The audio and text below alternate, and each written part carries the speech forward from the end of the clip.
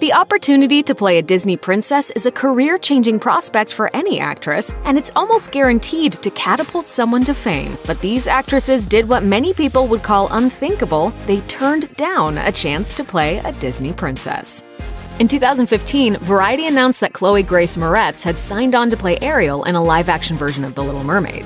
At the time, rumors circulated that director Sofia Coppola left the project because she wasn't thrilled that Moretz was involved. In September 2016, Moretz announced she had split from all the projects she was currently attached to, and that included The Little Mermaid. Moretz told The Hollywood Reporter that she was starting to forget why she started acting in the first place and wanted to take a step back to regain her focus. She explained, So I pulled the plug on all my movies because I want to reassess who I am and find myself within my roles again. I'm realizing that I can slow down.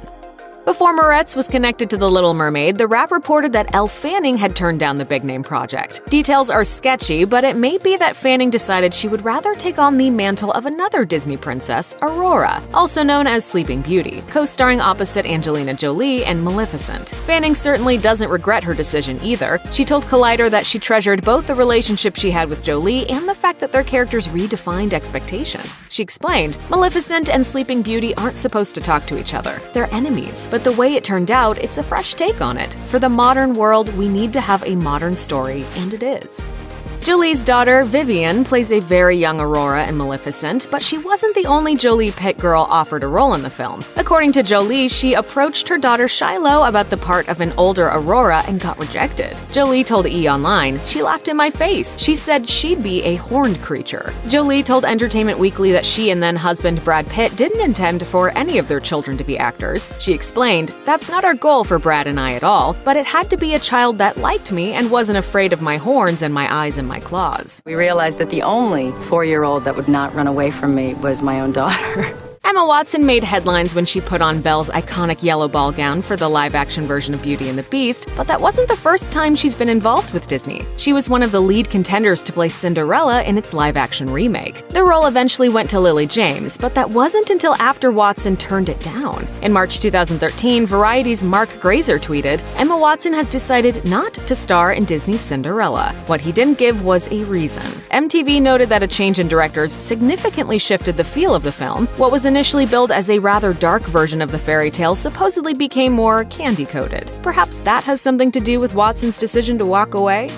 Beyonce may not have officially turned down the part of Tiana, the star of Disney's The Princess and the Frog, but one could argue that she disregarded the opportunity even though she was supposedly the top pick for the part. According to a behind the scenes book called Confessions of a Casting Director by casting director Jen Rudin, Beyonce wasn't willing to audition. The role eventually went to Anika Noni Rose. Rudin told Page Six, Beyonce expected an offer but wouldn't audition, and so she didn't get one.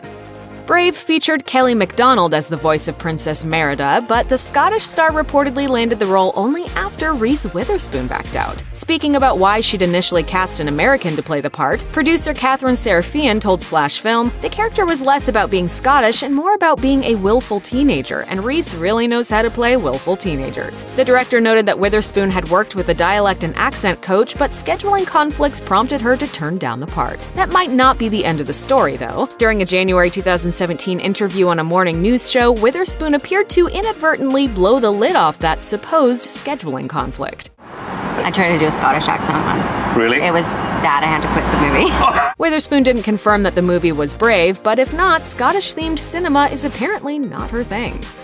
Check out one of our newest videos right here. Plus, even more Nicki Swift videos about your favorite stuff are coming soon. Subscribe to our YouTube channel and hit the bell so you don't miss a single one.